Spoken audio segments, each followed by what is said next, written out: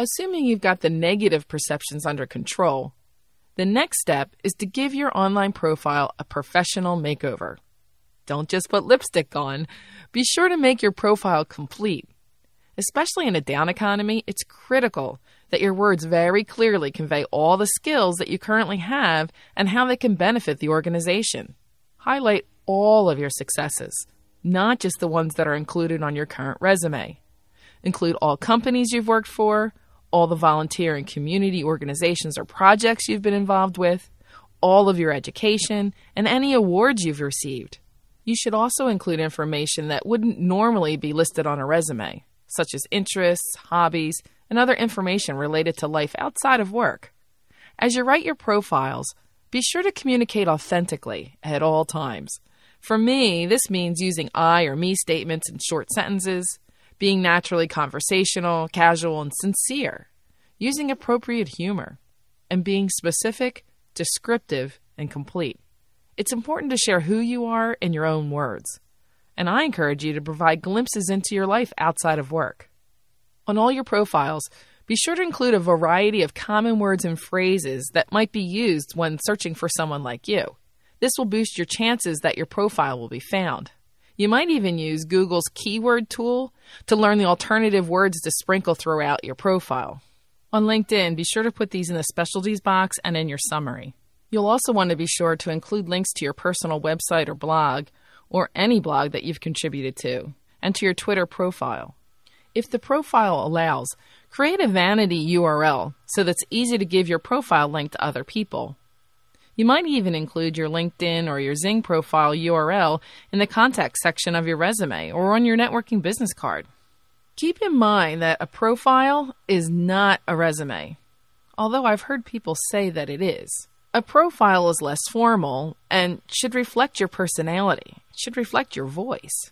You can enhance your profile by including documents, presentations, videos. For example, you can include an awesome slide presentation that you created or samples of your writing.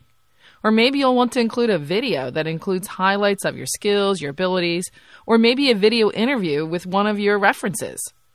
Use the flexibility of the format to creatively represent yourself. Just keep in mind that employers may not review everything that you post. Finally, sometimes the best way to improve your own profile is to look at some great examples. I'll include some links on interviewextras.com. Be sure to review every detail on your profile and make sure that you're consistent across the different profiles. Oh, and don't forget, like a resume or a CV, the spelling and the grammar on your profile needs to be 100% correct. If you're a non native speaker, consider asking for help to ensure that the profile is without mistakes. Finally, including a professional profile picture is also important. Choose a headshot photo that clearly shows your entire face, your shoulders, and has nothing distracting in the background. You might even consider hiring a professional or at least finding someone who's skilled in photography. Be sure to dress professionally and remember to smile genuinely. Choose a photo that makes you look approachable, dependable, likable, trustworthy, and confident. And be sure to use this photo consistently across the profiles to reinforce your online brand. Once you've created your profiles, you'll want to keep them fresh. To do so, you should make regular updates. If you're serious about building your visibility, you'll need at least one or two updates a day. With many networks, simple updates cause your profile to be included in a broadcast email to your entire network, and that helps to keep your name at the top of mind.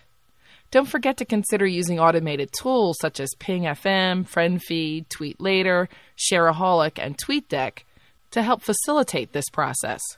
If you're unemployed, You'll want to use your profile status to specifically indicate what positions you are seeking. In addition, you'll want to link to articles you've written, interesting videos, yours or somebody else's, or even your favorite podcast. Hint, hint. You can also update your status with motivational quotes, interesting observations, or by reposting what somebody else has written or just said. Just be sure to give the right credit. Remember, you'll want to remain professional, relevant, and consistent. Use your status and updates to remain on the radar. Another great way to boost your credibility and visibility is to join groups that relate to your profession and to your hobbies.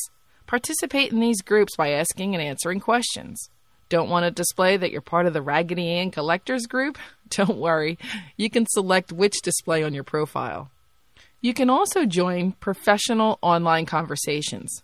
Consider whom you want to meet and start commenting. For example, I wanted to meet an event planner, so I commented on his blog. He read my comment, then, on his own initiative, he reviewed my website and connected with me on Twitter.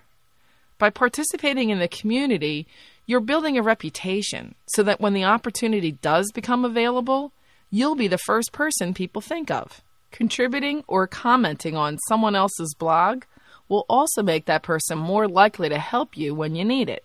They'll feel comfortable providing you assistance because you've already contributed. The idea is to make the investment before you need to make a withdrawal. Another method to enter a conversation and build a perception of expertise is to answer industry related questions via LinkedIn Answers. On LinkedIn, you can search for posted questions using keywords, or you can set up an RSS feed for specific question categories. When you find relevant questions or interesting posts, respond and include a link to your website, your job search blog, or an article you wrote. As you begin to regularly and intelligently share your comments, your voice will be heard and you will stand out. And when a recruiter Googles you, he or she will find your insightful comments and then click the link to your profile which now, based on my tips, will contain even more great information about you.